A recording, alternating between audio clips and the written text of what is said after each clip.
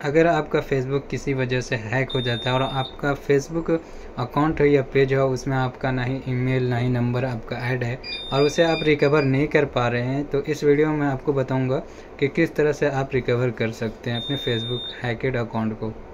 इसके लिए आपको अपना फेसबुक ओपन करना है एंड अपने प्रोफ़ाइल में जाना है और यहाँ पर आपका फेसबुक का जो है नाम देखने को मिलेगा।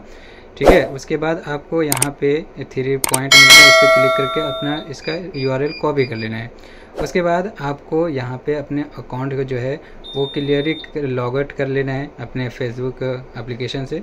उसके बाद आपको अपने मोबाइल से आपका जो आईडी है, उसको रिमूव कर देना है। जैसे आप रिमूव करते हैं, ये आपके डिवाइस से हट जाएगा, ठीक है? उसके बाद आपको अपने मोबाइल में कोई सा ब्राउज़र ओपन कर लेना है। उसमें आपको ये वेबसाइट को सर्च करना है। तो यहाँ वेबसाइट मैं सर्च कर रहा हूँ। ये मैं डिस्क्रिप्शन में भी दे दूँगा, वहाँ से भी आप जा करके क्लिक करके इस वेबसाइट पर जा सकते हैं। इस वेबसाइट पे जाने के बाद आपको यहाँ पे एक फ़र्स्ट वेबसाइट आएगा, ठीक है? फाइंड योर फेसबुक आईडी इसके नीचे आप स्क्रॉल करते हैं तो आपको नीचे में एक ऑप्शन मिलता है, यहाँ पे यूआरएल पेस्ट करने का।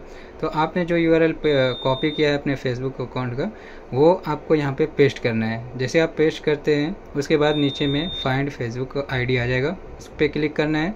उसके बाद आपको यहाँ पे ऐड आएगा तो रिमूव कर देना है। उसके बाद यहाँ पे पाँच से दस सेकंड यहाँ पे सर्च करता है। उसके बाद आपको यहाँ पे एक नंबर देखने को मिलेगा। ये नंबर को आपको सारे के सारा कॉपी कर लेना है। इसको कॉपी करने के बाद आपको यहाँ से बैक आ जाना है। उसके बाद ओपन फेसबुक करना है। देन यहाँ पे आपको मोबाइल और आईडी की जगह पे ये नंबर पेस्ट कर देना है। उसके बाद आपका जो फेसबुक का पासवर्ड था, वो पासवर्ड यहाँ पे डालना है। ठीक है? यहाँ पे जो पासवर्ड वो फिल करके लॉगिन पे क्लिक करेंगे।